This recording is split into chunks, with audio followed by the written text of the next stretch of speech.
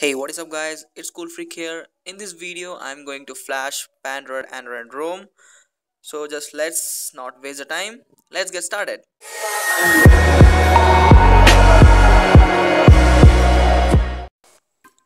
So guys let's first take up the backup of the previous ROM or keep the stock Oxygen OS and place the ROM and GApps 2 in, inside your internal SD so when you are in the recovery go to wipe partition select Dalvik system data and cache and do not select the internal one otherwise you know huh?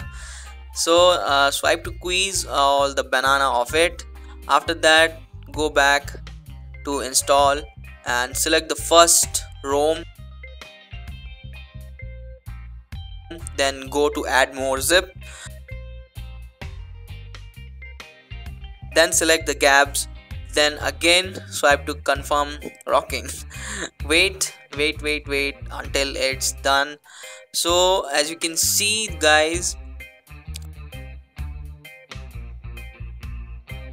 after that the boot animation.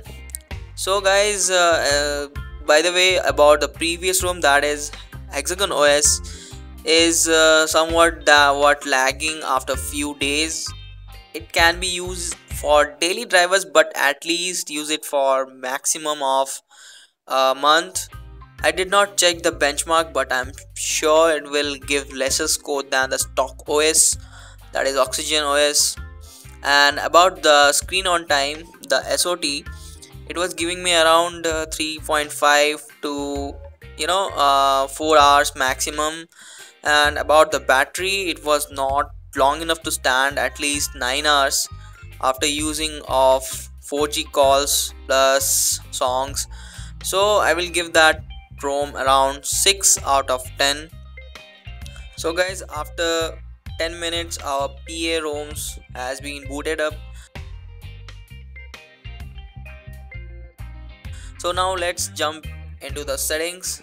About the phone as you can know that as you can see uh, marshmallow 6.0.1 the Paranoid Android ROM uh, let's jump into the camera.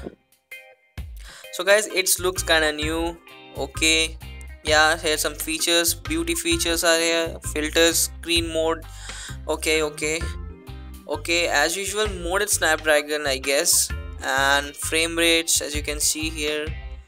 Uh, you can change it to 60 frames okay. And let's see the apps drawer. What? Only 12 apps installed? Okay. So guys uh, no huge bloatware as i say. They did not provide any music player in it. So that's okay. I love that kind of uh, you know roms. Small and simple. So it will let you to mode at as you wish. So guys this is the probably it as usual the review of the PA ROM will be in my next upcoming ROM installation video. So stay tuned for that. Hope you like this tutorial. Then hit the like button. And uh, if you are not subscribed yet then it's the time to do so.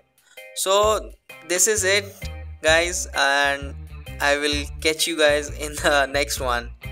Later